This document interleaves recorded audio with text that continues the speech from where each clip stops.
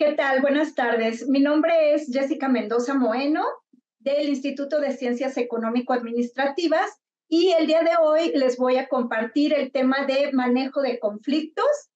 Este tema eh, se da en, la materia de dirección y liderazgo en las organizaciones y es un tema muy interesante, sobre todo para eh, ayudar a los muchachos a, comprender qué son los conflictos dentro de las organizaciones y poder resolverlos. Eh, primero vamos a empezar por definir lo que es el conflicto. Para ello tengo aquí dos diferentes definiciones. La primera nos dice que es la interacción antagónica en la cual una parte busca obstruir las intenciones o las metas de la otra parte. Y por otro lado, eh, Griffin, eh, eh, Phillips y Gully lo definen como un desacuerdo en el que más de dos partes perciben una amenaza a sus intereses, necesidades o temas de importancia. Es decir, bueno, pues los conflictos se dan dentro de las organizaciones cuando existe algún desacuerdo entre las dos partes. En realidad los conflictos es algo completamente natural y se presenta en absolutamente todas las organizaciones. Vamos a ver, las causas del conflicto pueden ser variadas. La primera de ellas es la competencia por recursos escasos. Como sabemos, dentro de cualquier organización, pues siempre los recursos son escasos. Eh, por ejemplo, en, el caso del presupuesto, pues siempre puede haber desacuerdos, puede haber eh, conflictos entre las diferentes áreas por obtener una mayor participación en el presupuesto, por los materiales o por la información. Sabemos que también muchas veces la información puede ser escasa o puede ser, eh, bueno, eh, eh, muchas veces no se llega a compartir toda la información y esto hace que se pueda generar algún conflicto. Por otro lado, tenemos también cuando existe una falta de claridad en las responsabilidades de las tareas, es decir, pues cuando las personas también no saben cuáles son sus responsabilidades y esto puede crear muchos, muchos conflictos, metas encontradas. Eh, bueno, muchas veces, pues las empresas buscan diferentes metas y pueden estar encontradas. Es decir, por un lado, por ejemplo, queremos innovar, pero por otro lado, eh, queremos disminuir costos. Entonces, esto hace que exista una meta eh, perdón, que exista un conflicto entre ella, entre las diferentes partes, eh, al, al, no establecer un, pues un acuerdo como tal. Pero también, bueno, los choques de personalidad, que se puede dar pues por valores que pues de pronto las personas no pueden compartir dentro de las organizaciones o por actitudes que también se pueden dar dentro de las organizaciones eh, que no siempre pues se, se comparten. Vamos a analizar la evolución de la teoría. Eh, tenemos que la teoría tradicional surge en el año de 1930 hasta el año de 1940. En esta teoría, los resultados disfuncionales eran producto de la mala comunicación, de la falta de franqueza y de la confianza. Y también, bueno, existía una incapacidad por parte de los gerentes de ser sensibles a las necesidades y aspiraciones de sus empleados. Estos fueron los primeros resultados que se dieron en esta primera teoría tradicional del manejo de conflictos. Luego, en el año de 1940, surge la teoría de relaciones humanas.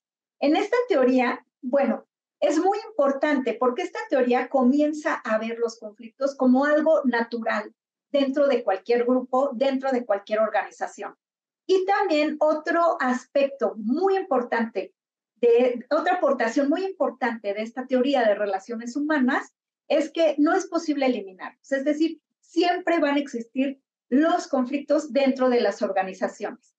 Incluso los conflictos pueden beneficiar al desempeño de los grupos. Entonces vemos que esta teoría de relaciones humanas tiene una conceptualización diferente a la teoría tradicional en donde ya empiezan a ver que los conflictos, además de que surgen naturalmente, pueden ser de traer grandes beneficios a las organizaciones. Y finalmente tenemos la teoría interaccionista. Esta teoría pues eh, ve que un grupo armonioso, pacífico, callado y cooperador tiende a volverse estático, apático e insensible a las necesidades del, cambio y de la innovación. Entonces, en este tipo de, de grupos en donde todos los integrantes ven del mismo color la situación, es muy peligroso. Hay, existe un gran riesgo de que el grupo caiga en la apatía y que no exista un, pues, esa posibilidad de innovación constante que hoy, sobre todo, se necesita más que nunca. También, bueno, esta teoría incita a los líderes a mantener un estado mínimo y continuo de conflictos, apenas suficiente para que el grupo sea viable, creativo y autocrítico. Es decir, los líderes deben de incentivar, deben de provocar eh, los conflictos, claro, o sea, conflictos eh, funcionales, conflictos que tiendan a, la innovación y a la creatividad. Y también otra de las aportaciones de, esta teoría es que decir que un conflicto es bueno o malo en su totalidad resulta poco apropiado e incluso inocente.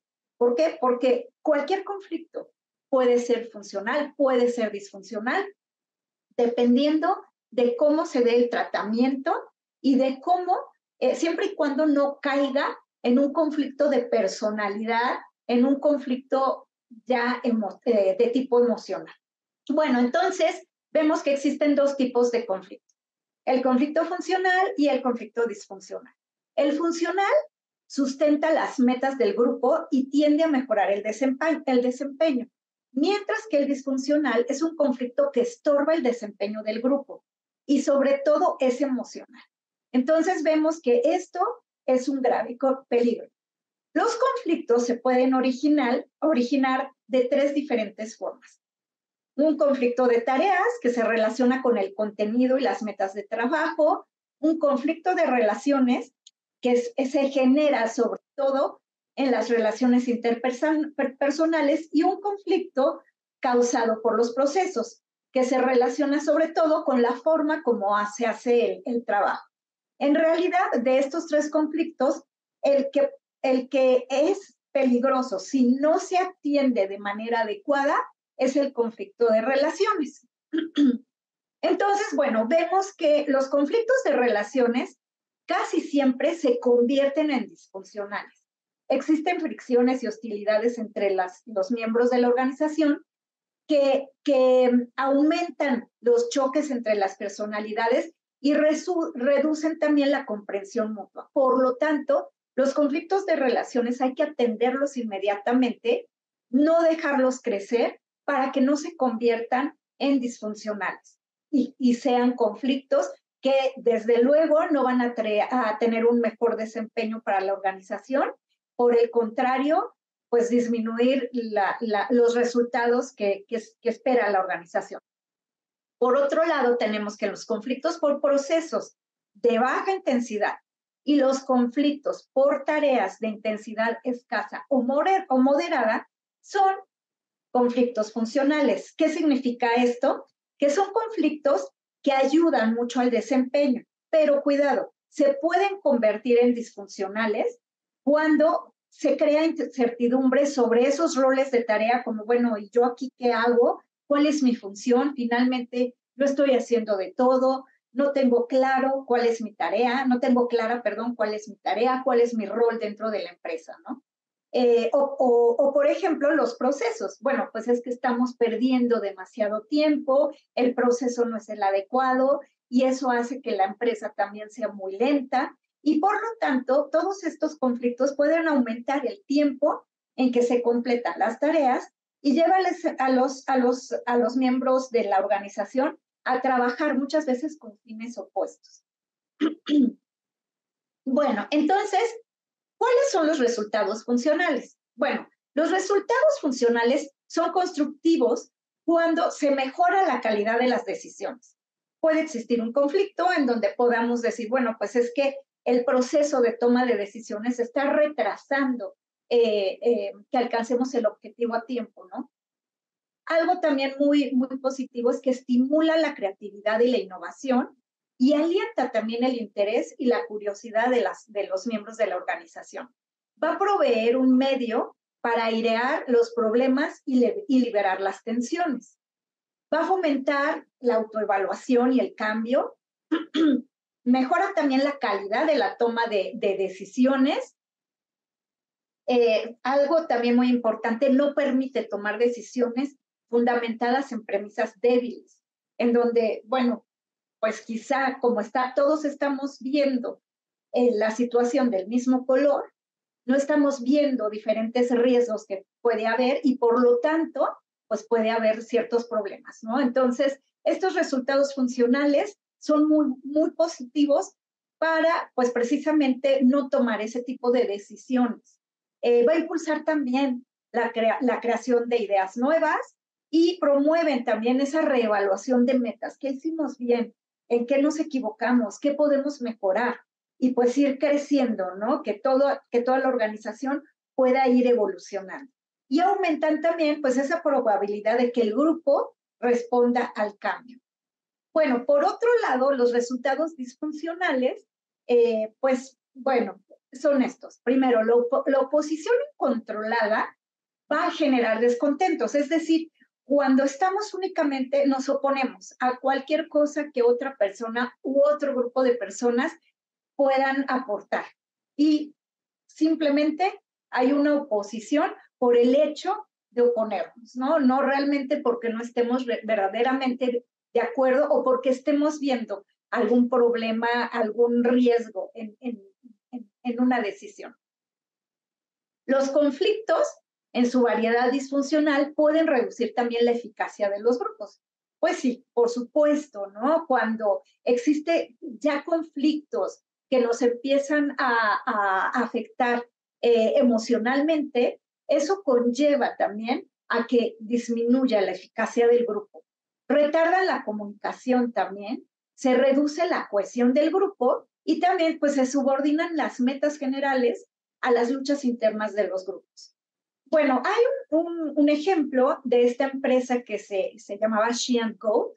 Esta empresa cerró porque los 80 socios no se llevaban bien. Esto es muy importante porque en realidad no se trataba de un problema financiero, un problema económico, sino que había un choque de personalidades. Y esta es una, una bueno, eh, la, noticia la podemos ver que salió en, el periódico de New York Times y esta noticia, eh, al final, el, el, el, editor dijo, bueno, el problema es que no tienen un problema económico, sino de personales, de, de personalidades. Ustedes se odian. Entonces, esto, bueno, refleja cómo un conflicto disfuncional puede llevar incluso pues al cierre de la empresa. Entonces, pues es algo eh, eh, que se tiene que atender inmediatamente para que no se convierta en una bola de nieve y se, produzcan pues conflictos graves como, como estos. Bueno, entonces los conflictos en las organizaciones en realidad son positivos y generan grandes beneficios, pero hay que aprender a incentivarlos y resolverlos. Los líderes también tienen que incentivar esos conflictos, pero sobre todo en un sentido eh, para ver diferentes eh, puntos de vista, esos diferentes colores de los que he hablado, para no caer en, una, en un estado estático y que las personas de la, de la organización no puedan pues tener todos esos cambios positivos, pues como es la innovación, el cambio, eh, la creación de nuevas ideas, etcétera. Bueno, pues esta es la bibliografía que se utilizó para esta, eh, para, para esta presentación. Espero que les sirva, espero que sea de gran utilidad, sobre todo para entender que los conflictos no son del todo buenos ni malos. Todo depende de muchas situaciones y que los conflictos al final son buenos para, la, para, las, para cualquier organización. Muchas gracias. Me pongo a sus órdenes. Este video es presentado por el Sistema Ciencia Garza Educativa de la Universidad Autónoma del Estado de Hidalgo.